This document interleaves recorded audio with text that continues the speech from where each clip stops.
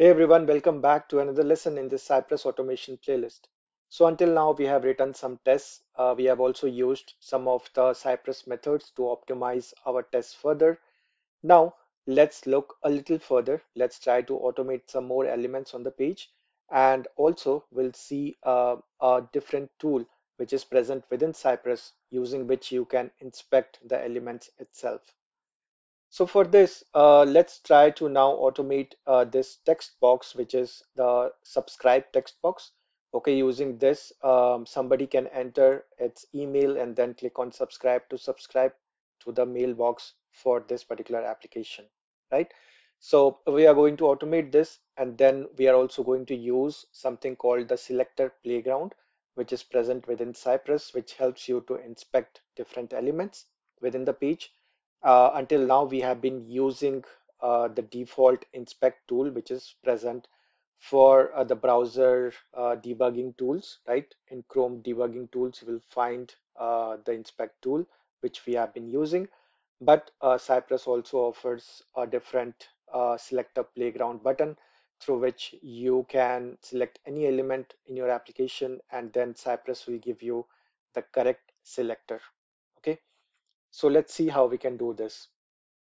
So for this, uh, we are going to create a new uh, TS file, okay, where we'll be writing our tests.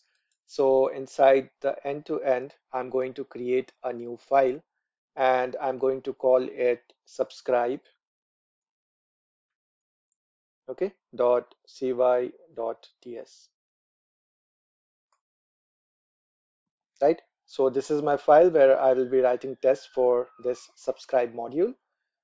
And now uh, we'll start off by obviously writing a describe block first, okay? And inside this we'll provide a description. So we'll say verify subscribe form, right? And then uh, there will be, uh, as usual, a callback function here and then uh, inside this uh, we'll be writing our before each method because that's what we'll be doing before running each test right? So we'll use this method. And then there will be a callback function here. Okay? And then inside this uh, we are going to uh, write the cy.visit and uh, we'll be pasting the URL here. So this is the URL where we'll be opening the application and that completes our before each method, right? After this, we will be uh, writing our test inside the it method. Uh, inside this again, uh, we have to provide a description first, okay? So we will say um, users uh, will subscribe to the email list okay?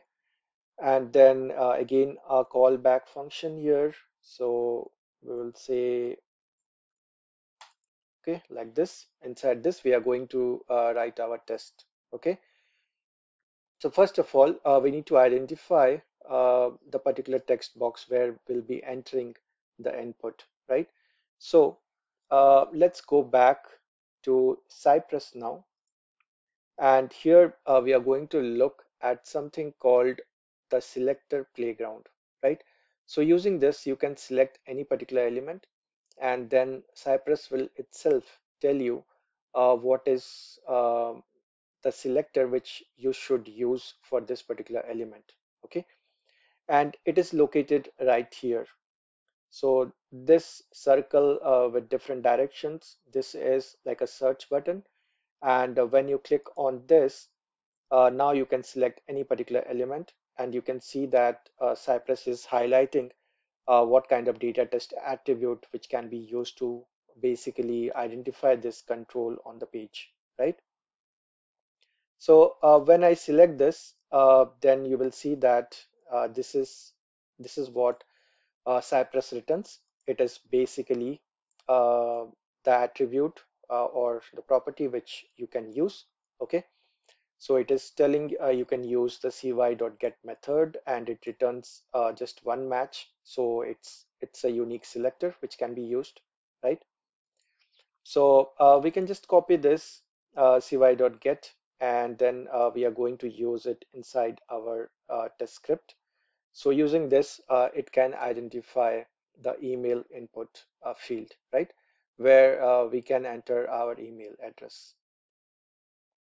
So that's how you can use the selector playground to identify any particular uh, element.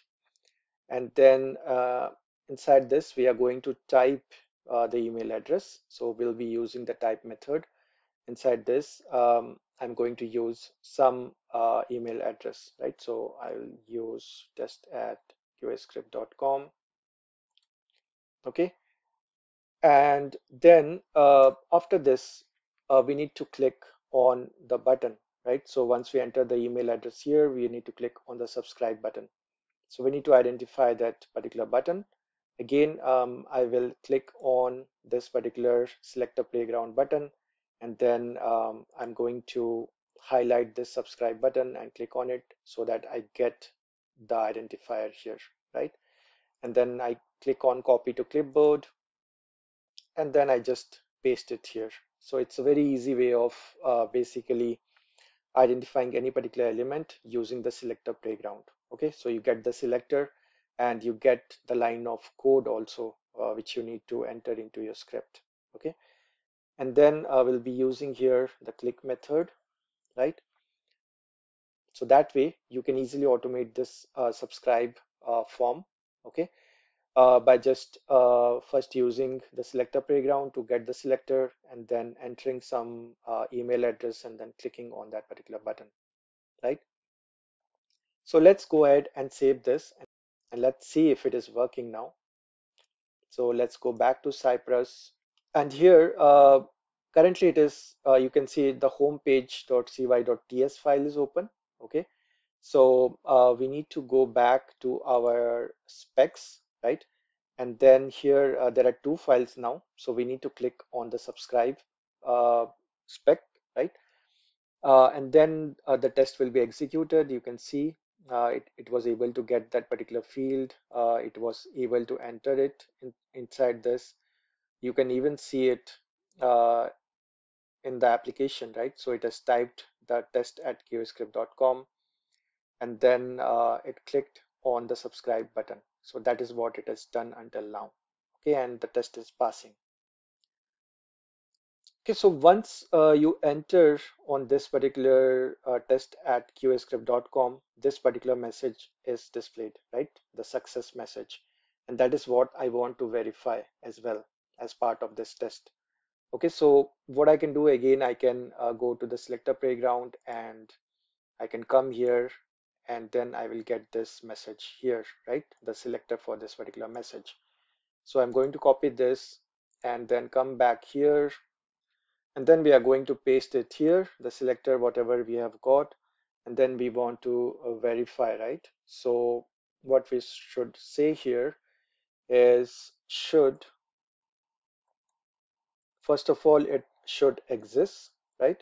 So we are going to say exist so that message should exist and then it should also contain, right? So we want to verify whether it contains our email address or not. So I'm going to say contains and then I'm going to say test at qascript.com.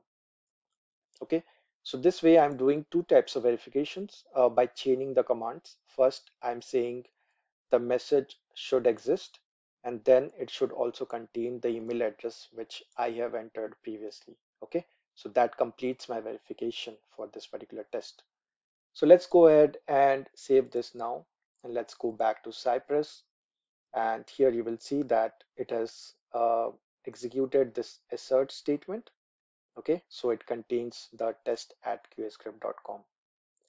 So all the steps have been executed and our test is still passing. Okay, so um, this is an easy way of uh, basically writing your script, the script which can automate any particular form or any other uh, part of your application. So you can use the selector playground um, to basically get the selector for any particular element on the page. And then you can use that line of code uh, in your test script um, inside the Visual Studio Code project and there uh, then you can put some more verifications using different methods and that way you can easily automate any particular application using Cypress. That's all for this particular video. If you have any questions then please leave it in the comments. If you like this video then please subscribe to our channel. Thanks for watching and I will see you in the next video.